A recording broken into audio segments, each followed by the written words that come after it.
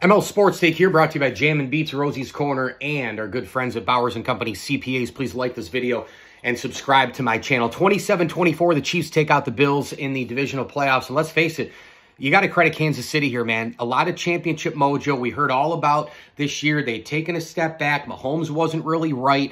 Kelce's a shell of himself. Again, year two without Tyreek Hill. All of a sudden, they get into complementary football. The defense is really good. They find a way to win the West. They have to go on the road. Oh no, Patrick Mahomes' first road game. I mean, how dumb are people to think that he couldn't win a road playoff game? Like, oh, we'll see what happens when he actually goes on the road. I'll tell you what happens. He's the Michael Jordan of the NFL. He's going to win football games. He's too good to not be able to win on the road. And you know what? The championship pedigree of things, it came out, didn't it? Andy Reid, again, outcoaches Sean McDermott in so many spots it isn't even funny.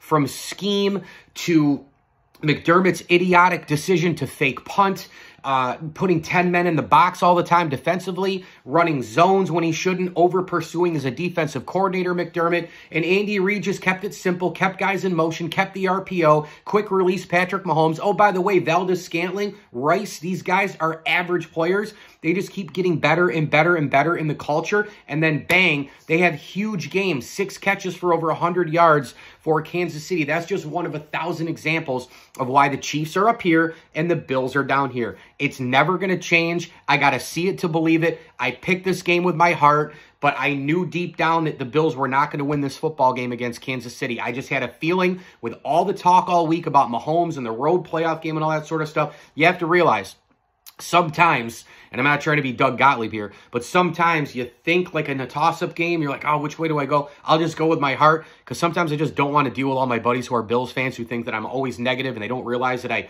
work in sports media. Like, my job is not to be the rah-rah guy as much as you guys, as much as I'm wearing this and this right now. I have an opinion.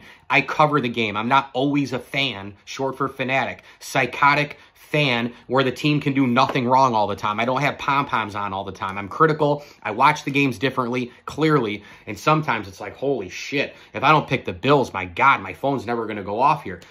Reality is, I kind of had a feeling Kansas City was going to win this game. They're too good. And right now, you look at the Bills and you look at Allen and you look at the window and it's a little bit more closed.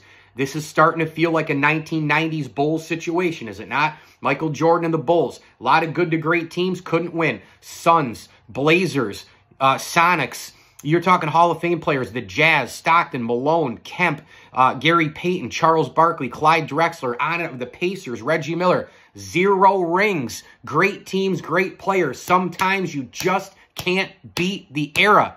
This era is owned by the Kansas City Chiefs. They're the new Patriots. That's the bottom line. And this is why I picked them. Remember, remember, back in August, I picked them to win the Super Bowl. We'll see what happens. ML Sports Take brought to you by our good friends at Welch & Company Jewelers and Stanley Law Offices.